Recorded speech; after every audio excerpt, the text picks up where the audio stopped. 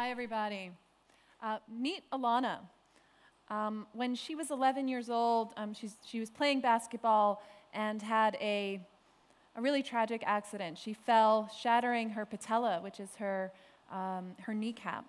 Now, uh, they were able to rebuild her knee. Uh, surgeons were able to rebuild her knee from a, a bunch of different sources. She got a donor patella. She had a piece of her hamstring fashioned into two ligaments.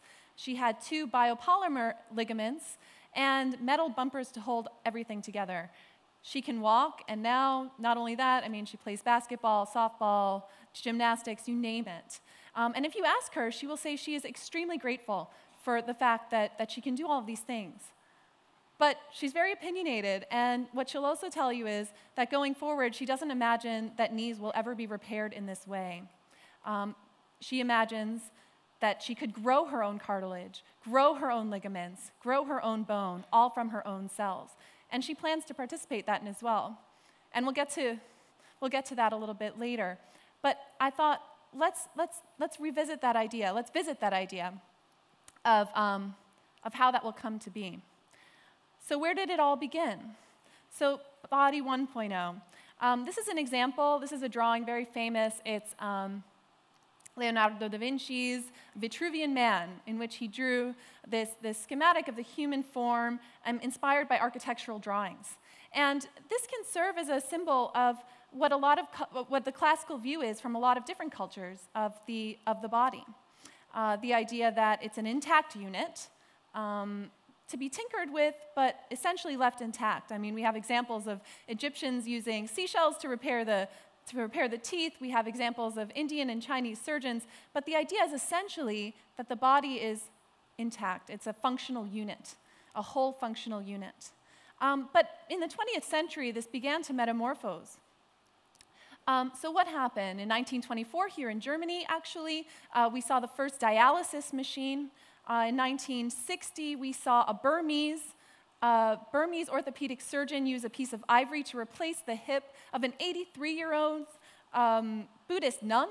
Uh, we saw in 1967 the fir first heart transplantation, first artificial heart came later, artificial knee, artificial, you name it, okay? But the idea was essentially that instead of the human body being a functional unit, we'd kind of drill down one step, one step down um, analogous to um, interchangeable parts and assembly lines revolutionizing manufacturing, we kind of had an analogous idea in medicine that if there was a part that in, it, that in some way had gone wrong, that it could be replaced with a, with a part from a donor or a part made by humans.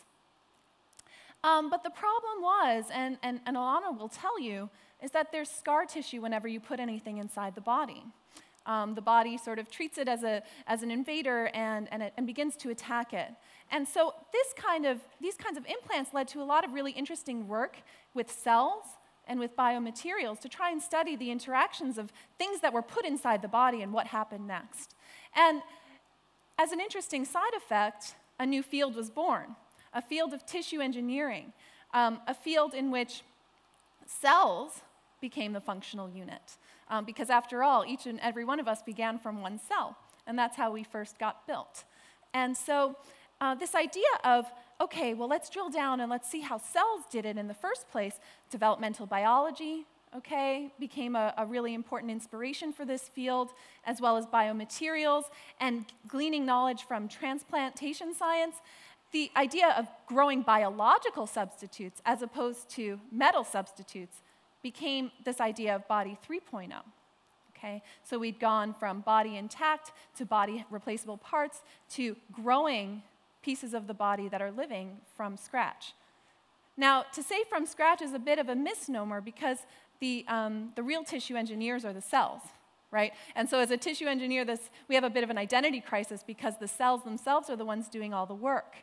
Because there was a shift philosophically from the idea of, okay, let's build a hip, to let's build an environment, like a fancy fish tank, so to speak, we call them bioreactors, that allow cells to build a piece of bone themselves. Okay, so it's a very interesting philosophical shift. It makes working as a tissue engineer really fun and interesting. And as we know, uh, when we're having fun, um, we, can, we can do really, amazing things. So I'm going to tell you about my work. Um, my work specifically is on the heart. And so, as an example of heart 1.0, 2.0, and 3.0, I have these examples again, starting from a picture from Leonardo and um, then a picture of the artificial heart. But then 3.0 is actually a vision of the future where we may be able to bioprint um, pieces of tissue and form functional heart out of that. But that's in the future. What can we do now? Well, this is an, a video of a piece of engineered tissue that um, I engineered during my PhD research. And as you can see, it's beating. Um, a lot of my research centered on this idea of, well, how do we make the environment, how do we make an environment so that cells, heart cells, know what to do?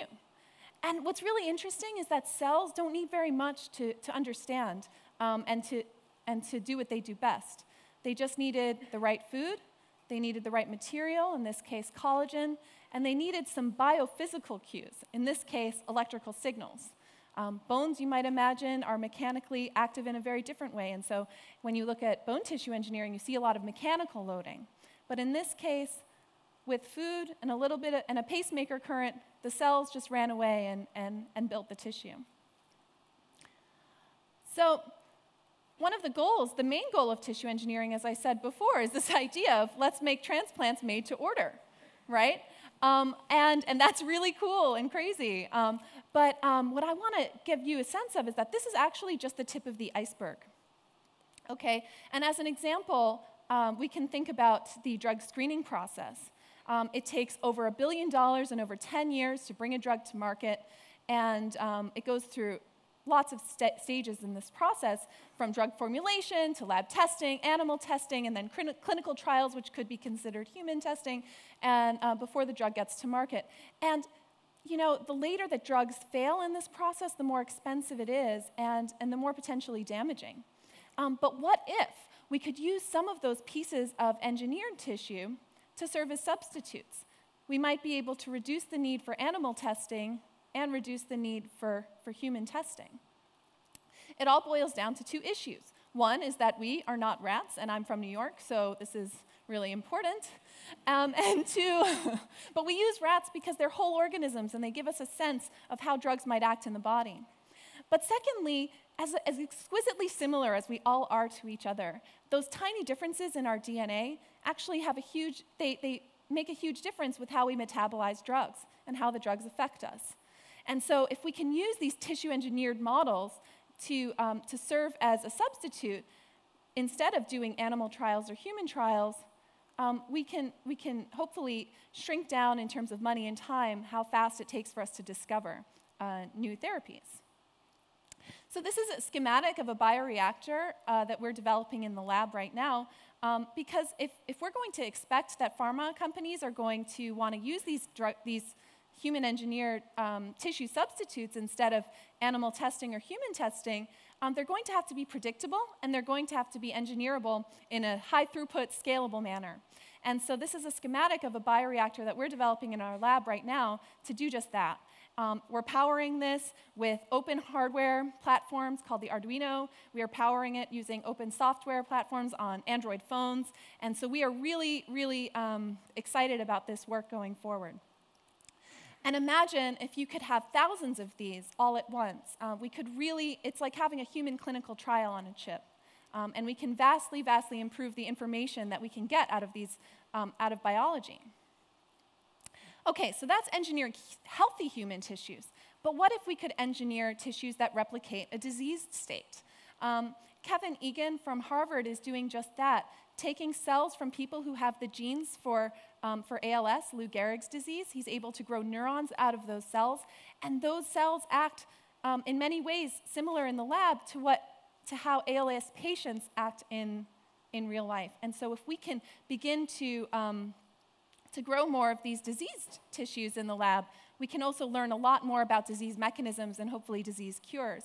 This is an example of um, cells from the retina engineered in a similar way. And since retinitis pigmentosa runs in my family, I really care a lot about this issue. Okay, but that's just single pieces of tissue, right? A single heart, single liver, all of that, right? But imagine, I mean, the rat, getting back to the rat, the rat is a whole organism, right? Um, and, and as we know, if I take a, medicine for my blood pressure. It affects not only my, my vasculature, but also might affect my liver. And an antidepressant that I take might get metabolized and then get stored in my fat tissue. So, what researchers are starting to do now is to engineer microscale, microfluidic cultures on which tiny pieces of heart, liver, lung, gut are all on the same platform, and so we can begin to study these interactions. Um, this field is just beginning, so stay tuned. Um, and here's an example of some lung cancer, sorry, breast cancer cells that were patterned using inkjet technologies. Um, how many of you, I mean, God forbid any of us gets that phone call that says that either you or someone you love has cancer, right? Wouldn't you want to know how will that how will a specific drug act on your specific cancer or on my specific cancer? Well, well Karen Burg's lab is doing just that, using inkjet technology to print breast cancer cells in the dish. Um, and, and collaborators of ours at Tufts are using models like these with tissue engineered bone to study how cancer could spread throughout the body. So you can imagine that those chips we just looked at on the last slide um, could be, this could be the next iteration of that where we have cancer and, and tissues cultured together. Um, and so just, just to revisit this idea, I mean, as tissue engineers, you know, on the surface, we're trying to grow a new patella, a new uh, ligament, new uh, bone, right? We're growing new pieces of, of human body. But um, what I've hoped to convince you is that actually what we're doing is, is a lot bigger than that. As a side effect of all of this research, I think what I believe is that we're actually transforming biotechnology into a manufacturing and information technology. Um, by separating organ donation from organ donors, we can break that link that was hitherto unbreakable because of, um, of tissue matching and of, uh, of tissue viability, right? And by being able to culture human tissue substitutes that are either healthy or representing disease states, we can answer questions in a much more concrete way and with many, many data points than we ever could before about how drugs will affect um, human beings. Um, and the fact that this is all going on at the same time, that there are sister revolutions happening in uh, manufacturing and information technology, the fact that we've got you know, 3D printing, open hardware, open software platforms, um, new collaboration tools, that, that is so exciting to us and makes for even more interesting collaborations going forward. And so, you know, as a researcher, um, having so much fun in this field, I, um, I invite you to have a conversation with me about where you think the body 4.0 is going to be. Uh, thank you so much for your time.